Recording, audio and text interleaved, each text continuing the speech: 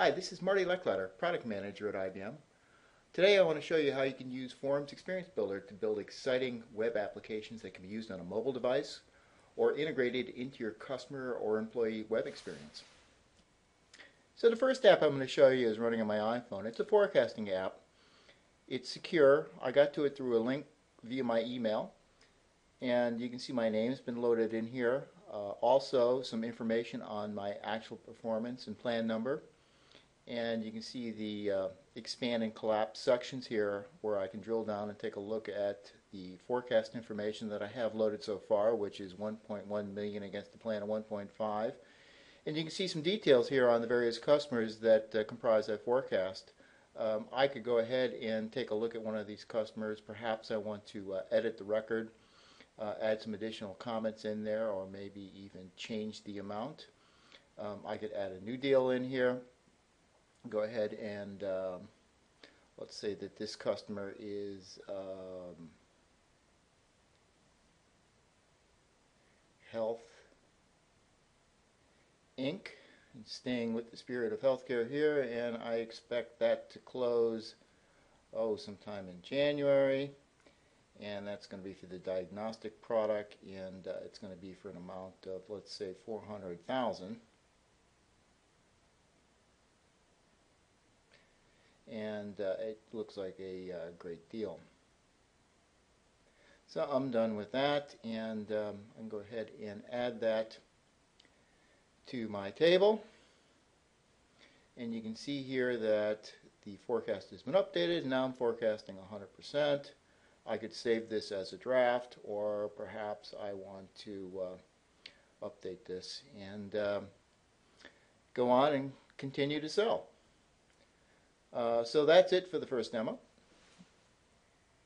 So a quick look at how this form was built. Here I have my design canvas and what I've simply done is dragged and dropped different widgets onto the page and built this from top to bottom. You can see the various fields that I have here, an image, text, uh, a date field, a single line field for the rep name. And then I have my sections here. In the sections what I'm doing is I'm surfacing variables as part of the text and this allows me to do a nice clean presentation. Uh, the actual variables themselves, I'm loading them into a section which I have hidden here, and then I'm doing some calculations. And uh, they're hidden with a rule. And to give you an idea what a calculation looks like, let's take a look at how we sum up the deals. Uh, you know, just a simple formula here to give you an idea of the sort of things you can do, all your uh, mathematical operations, as well as things like uh, table average sum, min, max, etc. Um, and then we've got the table itself, and the table itself has got a uh, summary presentation, which I've defined here, and then you've got a subform associated with the table that's collecting information. So this is all very straightforward and standard stuff that any business user could do. A couple of services that I integrated into this that uh, work well. The first one is to get the username, and I'm using the Portal User API, otherwise known as Puma and uh, it's simply just pulling the full name and it's loading it into the uh, field that I showed you called rep name.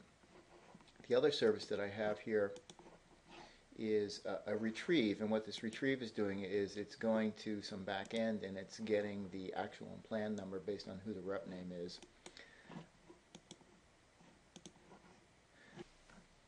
So that is pretty much how it's been built.